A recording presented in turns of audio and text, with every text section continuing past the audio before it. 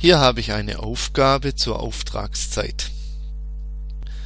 Sie können das Video nun stoppen, um die Aufgabe zu lösen, oder Sie lassen es weiterlaufen und bekommen noch einen Lösungshinweis.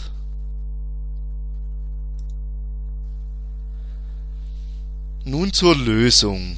Die Auftragszeit setzt sich aus der Rüstzeit und aus der Ausführungszeit zusammen Innerhalb der Ausführungszeit wird die Menge und die Zeit je Einheit berücksichtigt.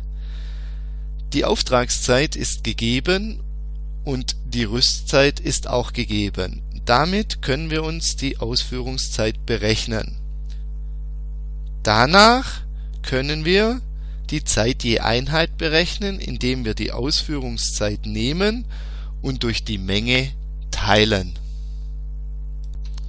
in Teilaufgabe B wird nach der Grundzeit gefragt.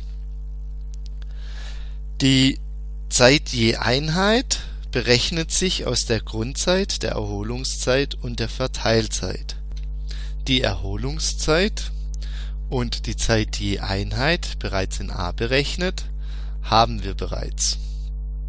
Die Verteilzeit kann man auch zusammensetzen aus Verteilzeitzuschlag geteilt durch 100 mal Grundzeit. Somit haben wir in der Formel nur noch die Grundzeit, die Erholungszeit und die Zeit je Einheit, und damit können wir die Grundzeit berechnen. In Teilaufgabe C wenden wir genau das gleiche an wie in Teilaufgabe B, um die Verteilzeit zu berechnen. Wir nehmen den Verteil Zeitzuschlag, teilen ihn durch 100 und multiplizieren ihn mit der Grundzeit. In diesem Fall 10 geteilt durch 100 mal 4,5 ergibt für die Verteilzeit 0,45 Minuten